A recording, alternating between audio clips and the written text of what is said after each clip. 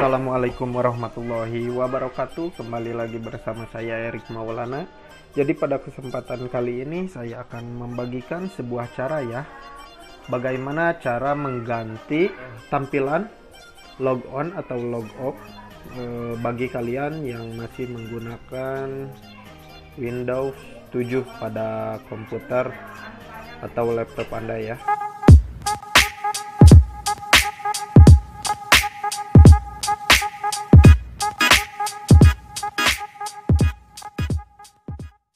Nah, oke, okay. uh, bagi kalian yang masih menggunakan uh, Windows 7 pada laptop atau PC Anda, mungkin kalian sudah tidak aneh ya dengan tampilan logon pada layar monitor.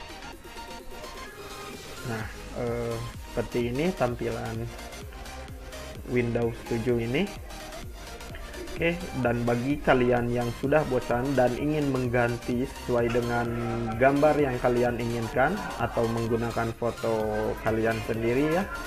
Oke. Oke, jadi kalian harus mendownload aplikasi uh, untuk PC ini ya, untuk tampilan Windows 7 ini bernama Twix Logon.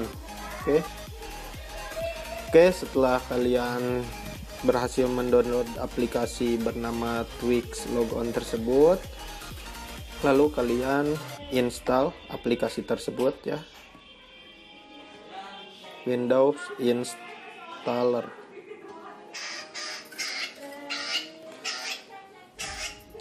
Lalu centang I accept. Kemudian install. Nah, proses install twix.com logon changer oke kemudian kalian centang launch twix.com kemudian finish.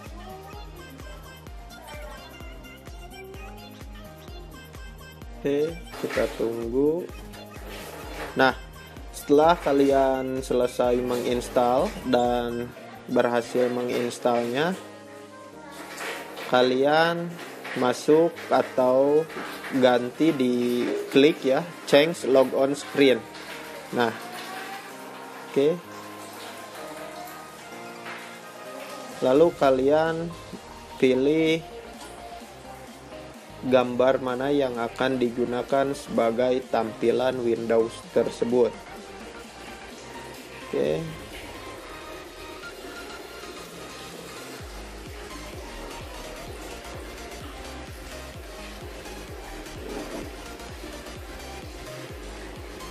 Oke. Kalian bisa memilih sesuai keinginan. Oke, sebagai contoh saya akan menggunakan gambar ini, kemudian open. The selected image file size is too large. Only image less than 245 KB. Oke, okay, yes. Oke. Nah, new logon background sukses install. Oke.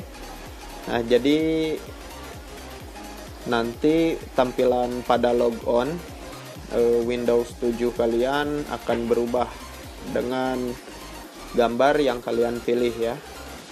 Kemudian kita coba close ya. Lalu coba kita lock